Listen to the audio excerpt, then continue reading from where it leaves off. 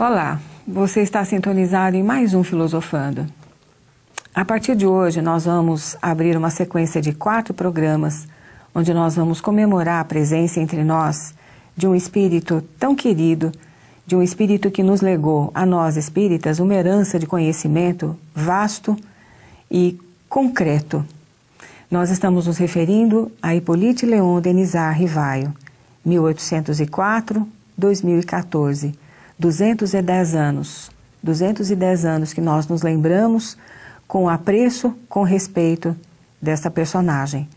Vamos, a partir desses programas, conhecer um pouquinho mais sobre Allan Kardec.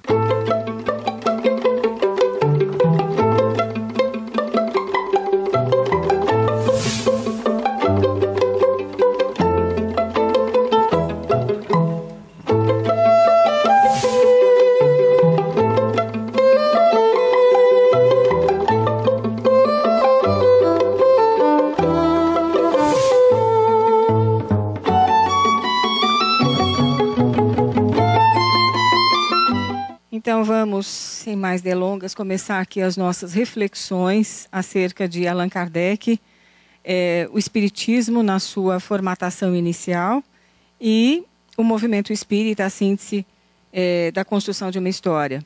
Então, esse é um trabalho de pesquisa e de estudo aprofundado da biografia de Allan Kardec e do seu tempo.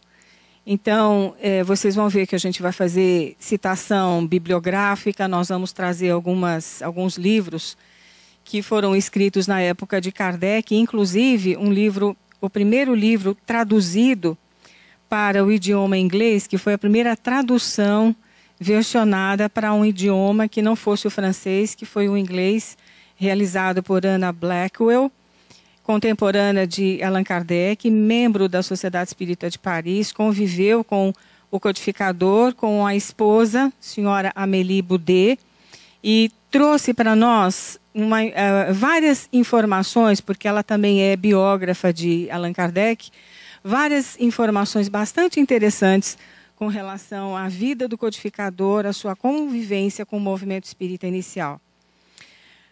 Mas antes de mais nada, antes que a gente possa falar sobre o codificador e as suas atividades, importantíssimas para todos nós que somos espíritas, nós lembramos de uma passagem do Evangelho segundo o Espiritismo que fala da missão do homem inteligente sobre a terra. Né? É uma passagem bastante importante, bastante interessante que está no nosso Evangelho segundo o Espiritismo, mais precisamente no seu capítulo sétimo. Então, algumas passagens que foram escritas através da psicografia dos médiuns da Sociedade Espírita de Paris, e o espírito é Ferdinando, o espírito protetor de Bordeaux, em 1862. E o espírito diz assim: que há, sim, uma missão para o homem inteligente sobre a terra, aquele que detém o saber, né? Que é justamente ah, uma inteligência que é rica em méritos para o futuro, ele diz, mas com a condição de ser bem empregada. Se todos os homens bem dotados se servissem dela segundo os desígnios de Deus, a tarefa dos espíritos seria fácil ao fazerem progredir a humanidade. Muitos, infelizmente, a transformaram, transformaram a inteligência em instrumento de orgulho e de perdição para si mesmos. O homem abusa da sua inteligência como de todas as suas faculdades, mas não lhe faltam lições, advertindo de que uma poderosa mão pode retirar-lhe o que ela mesma lhe deu.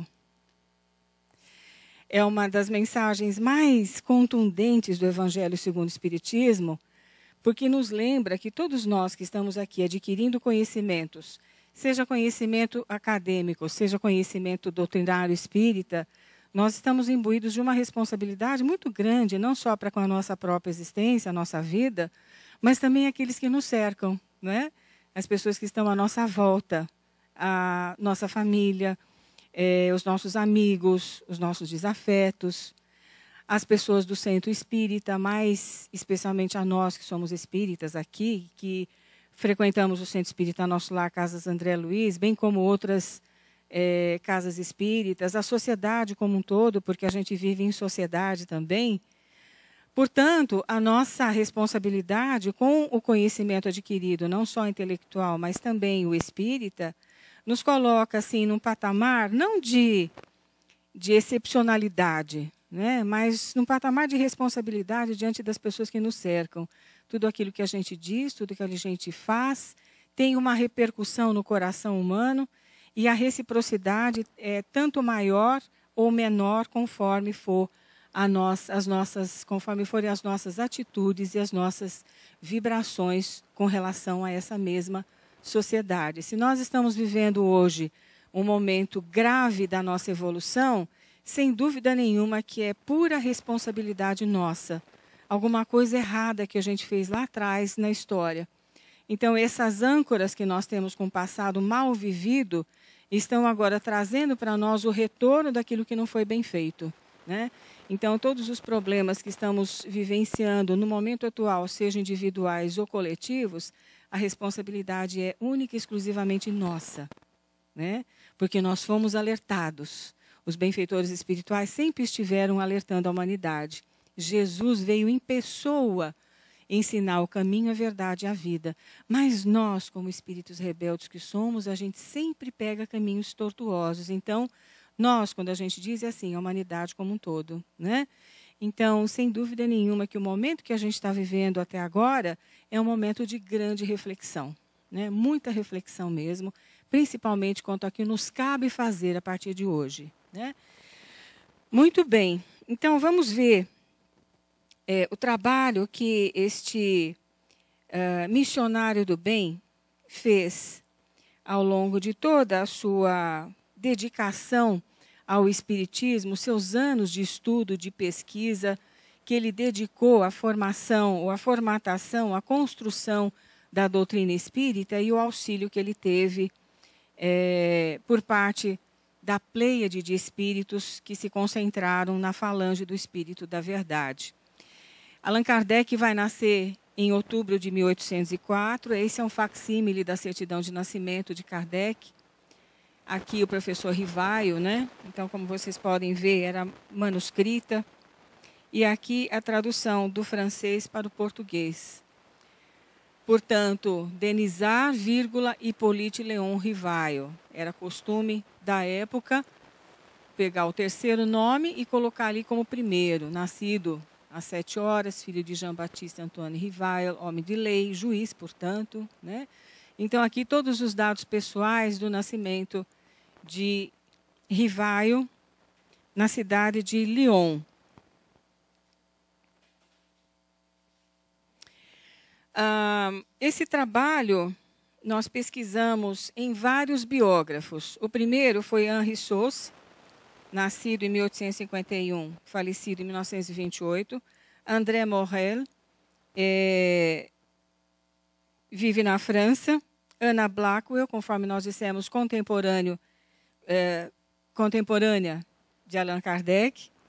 Zeus, esses são os franceses e a britânica. Os brasileiros, Zeus Vantuil, Francisco Thyssen, Terezinha Rei, do Movimento Espírita Suíço, Canuto Abreu. Ah, esses biógrafos dizem que as certidões divulgadas de nascimento de Allan Kardec partiu do princípio de uma legislação estipulada no ano de 1793, onde havia necessidade, a importância de se ter duas vias dessas certidões. Uma ia para a prefeitura, outra ia para os arquivos do Estado, sem rasura nem emendas. Essa certidão ela foi divulgada no Brasil somente a partir de março de, do ano de 2000, se não me engano, pela revista Reformador, com algumas observações por parte de pesquisadores acerca do nome de Rivaio.